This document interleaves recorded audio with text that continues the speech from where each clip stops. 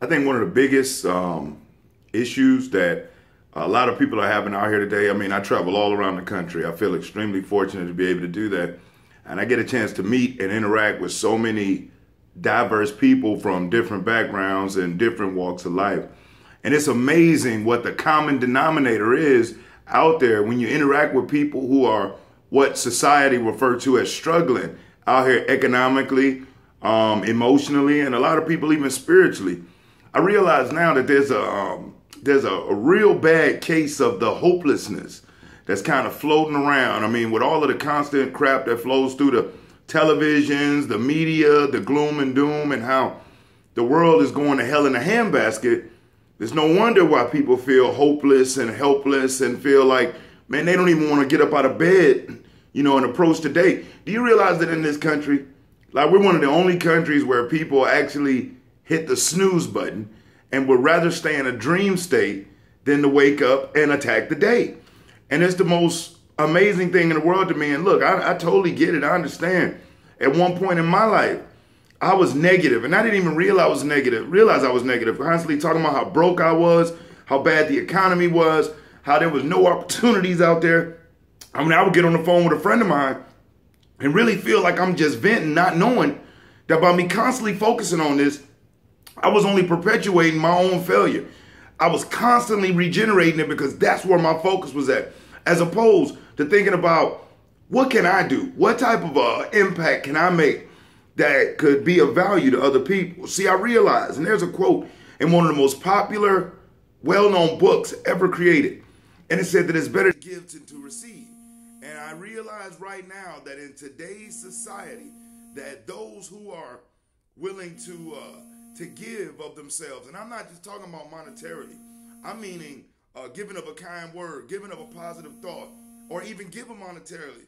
Something about giving in a spirit of uh, of abundance and of more than enough has a way of attracting back to you more than you could possibly imagine. And I'm not talking about this uh, generic law of attraction stuff that everybody got so hyped up on in 2006, 2007. I'm a firm believer in like attract like, but you can sit up and, and hold a vision in your head all day and just sit there. And guess what? It ain't going to happen. You have to get up, get out, and go get it. But the thing is, a, a large majority of our population, they never had anybody in their immediate family or in their surroundings that had ever uh, generated any type of success on any significant levels where they can see, you know, how it's done. I mean, if you think about a family, okay, if a dad likes a certain sports team, nine times out of 10, his son is going to grow up liking that sports team. And if a mother likes a particular type of a um, uh, type of a music or as a political affiliation, nine times out of ten, the daughter or the kids are going to be of that.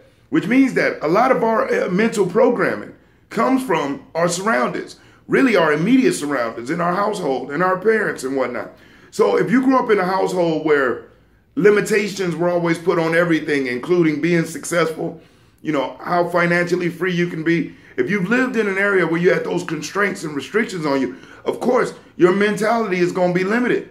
And you're going to think that there's only so far you can go. But man, I tell you, I mean, I've, I've, I've heard countless stories of thousands and thousands and thousands of men and women who come from very, very humble beginnings, born on the wrong side of the track, so to speak, um, have experienced, had some bad experiences growing up, some been to prison, but had been able to transform their lives around strictly by changing the way they think.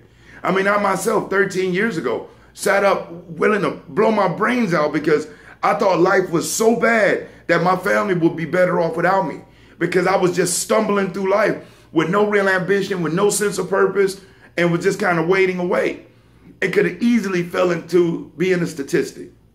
But through um, through a lot of uh, you know kind words and positive words and I'm sure a ton of praying by my fam- by my parents, and uh, just my willingness and my ability to say, look, I'm sick and tired of being sick and tired. I want to be something, and I want to be somebody. And in order for me to do that, to change the world on the outside, I had to change the world within. And you know, you coming from a guy who never read a book in high school or college. If it wasn't a basketball magazine or a rap magazine, I didn't even read it. And now, you know, I realize that the more things that I read, the more I fill my mental Rolodex up with the tools to be effective, efficient, and productive, the more value I can provide to society. Therefore, and in turn, the more value I'm providing to society, guess what? The greater the opportunity it is for me to provide for my family. And you know, that's really the, the, the, the, the secret, I would say, of life. Find an area where you can give and be of service and be of value to other people. You know, every successful man or woman and every successful business solves a problem. So you should make it a point to be a problem solver. Seek problems out. Don't run away from them because they're unavoidable. They're going to come up. And it's not about what happens to you. What it's all about is what are you going to do about it? So make it a point today to really start doing whatever it is that you can. That's really my secret I know you asked one simple question and I'm kind of uh, going on, but I think it's important for people to hear this. You can be doing have anything you want if you're helping up other people get what they want. And that's one of the greatest quotes um, that I've ever heard. And Zig Ziglar was who I heard say it. You can have anything in the world that you want if you're helping up other people get what they want. So make it a point to start being a giver. Wealth is attracted to those, money is attracted to those who know what to do with it. That's why if you notice a lot of stingy, selfish people. Very rarely do you see them in positions to where they're um, living financially free, secure, in what people would call a, a good life. Many times it's opposite. But notice that those that are always willing to give a kind word, to be of assistance to somebody, to give more of themselves, put others before themselves. You ever notice how they tend to, they seem to be lucky all the time? But the thing is, it has nothing to do with luck. It's just the balance of life. If you take, take, take, take, take, take, take, eventually life's gonna call that debt due. But if you give, give, give, give, give, guess what? Eventually you get a chance to withdraw your deposit also.